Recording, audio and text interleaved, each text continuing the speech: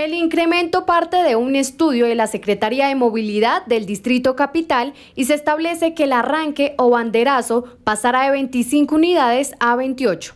Esto quiere decir que por tomar el taxi se cobrarán 2.300 pesos y la carrera mínima quedarán 4.100 pesos.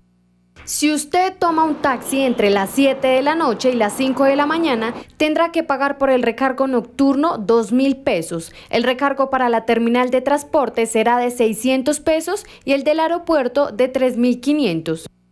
La Administración Distrital también estableció que el valor por unidad, que es cada 100 metros, pasará de 70 a 82 pesos.